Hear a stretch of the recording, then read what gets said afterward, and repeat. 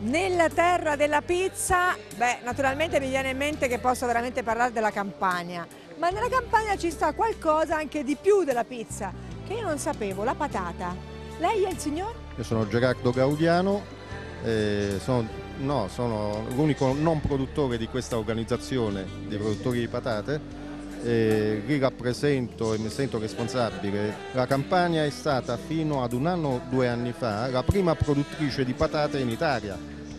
Eh, quindi eh, è una economia florida nella nostra regione e tra l'altro eh, le nostre terre fertili eh, producono patate che eh, altre regioni acquistano e poi rivendono come proprie. Quindi è una siamo, sorpresa. Siamo, eh. qui, siamo qui proprio per rivalutare questo prodotto che è molto richiesto anche dai paesi esteri, specie dal nord Europa. Eh, è un prodotto povero ma principale nell'alimentazione umana oggi. Eh, bisogna portargli valore aggiunto. Tra l'altro la nostra organizzazione è stata fautrice, eh, mh, fortuitamente ha ritrovato uno dei nostri produttori 15 anni fa una varietà scomparsa che era Ricciona di Napoli. Uh, I tuberi ritrovati erano totalmente virosati, sono stati fatti sanificare in Scozia. Uh, li abbiamo in riproduzione in valcusteria e quindi dall'anno prossimo ritornerà sui nostri mercati questa ricciona uh, di Napoli che è una patata per antonomasia fantastica perché nelle insalate, nel, nell'accompagnamento della dieta mediterranea è il top dell'alimento. Che pasta ha? Ha una pasta farinosa e pasta bianca ed è idonea, dai, i nostri vecchietti se la ricordano ancora, ha un sapore unico e poi ha la peculiarità di eh, mantenere una conservazione lunghissima senza utilizzo di sostanze eh, chimiche, quindi non c'è bisogno di antigermoglianti, eh, si conserva anche per 12 mesi, rimane intatta, quindi ha una conservabilità unica. E questo fu uno dei motivi principali per la sua praticamente scomparsa, perché con l'avvento di nuove varietà dall'Olanda ehm, che eh, ehm, abbattevano una serie di costi, quindi economicamente più vantaggiose, ehm, hanno preso, preso il sopravvento, eh, però come tutta l'alimentazione, noi oggi ehm, ci alimentiamo con ibridi praticamente in agricoltura, eh, abbiamo la bellezza, abbiamo, però poi si perde il sapore noi stiamo cercando di riportare il sapore sulla tavola, assieme alla genuinità chiaramente.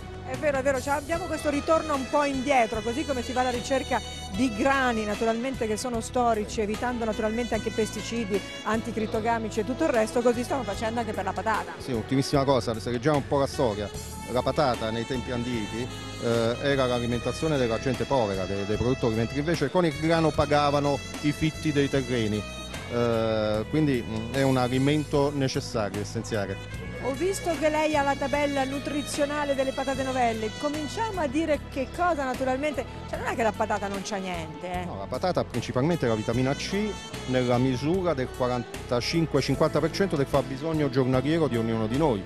Uh, è indicata, anzi oggi um, viene indicata nelle diete anche per i bambini e nelle diete alimentari stesse perché con un utilizzo moderato eh, aiuta praticamente con i carboidrati, con gli amidi eh, la digestione eh, e quant'altro, quindi mh, mm, bisogna ritornare alle cose genuine di un tempo.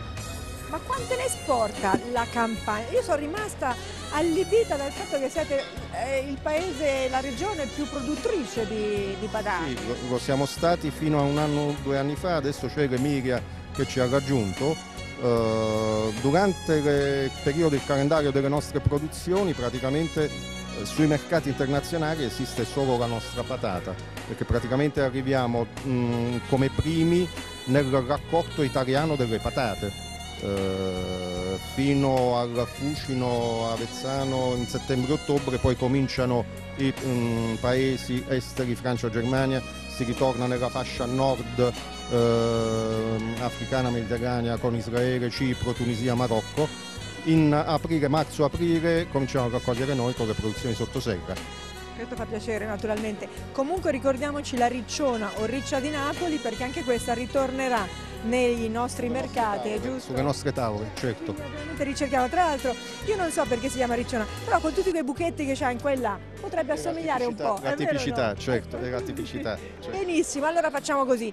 Noi che siamo del Casentino e della terra naturalmente aretina, gli manderemo la patata di cetica rossa, che facciamo una produzione minima, piccola, La ristretta. nostra organizzazione di patate, Campania Patate, manderà la ricciona di Napoli. Perfetto, grazie. Grazie.